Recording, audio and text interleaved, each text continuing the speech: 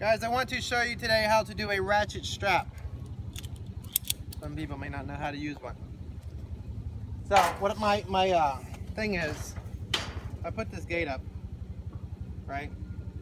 So basically you take the ratchet strap like this, right? Like so.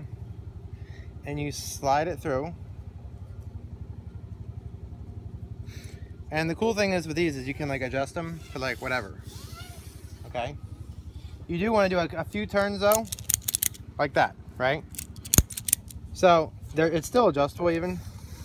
I want to show you how awesome this is. I like these because you can really tighten them down tight. So I kind of hook it right, right there. And then you just kind of tighten it up to however much you want it.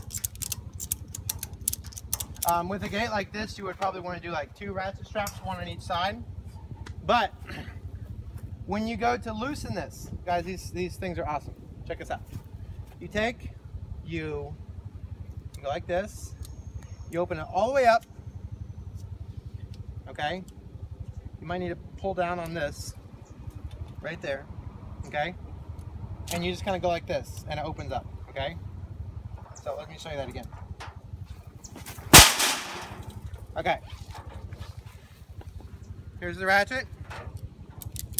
Goes like so. Check this out. Take the ratchet.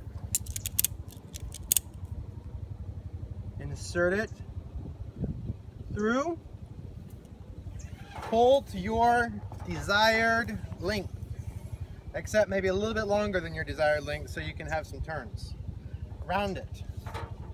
So I'm going to use it about here, so I go ahead and start. Okay? Lift this,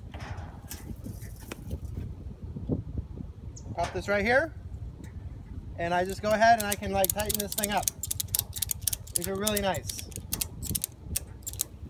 Okay, now when I want to take it off, okay, see it's locked, I go pull that down.